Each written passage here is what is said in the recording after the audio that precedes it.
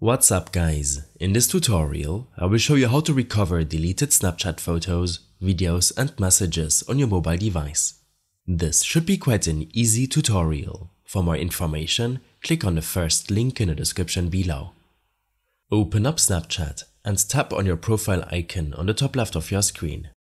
From here, navigate to your Snapchat account settings. In the memory section, make sure that your backup progress is complete. If this is not the case, then make sure that you're connected to a Wi-Fi network, as a backup can use up a lot of your cellular data, and proceed to backup your Snapchat memories. The option below allows you to backup your memories using mobile data. Under Save Destinations, you can allow Snapchat to save your photos and videos to your Snapchat memories, camera roll, or both.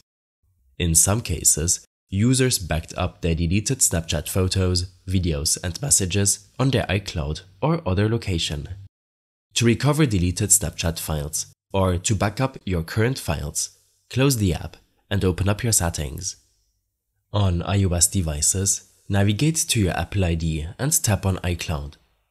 Here, select Manage Account Storage and you should be able to back up your device from here.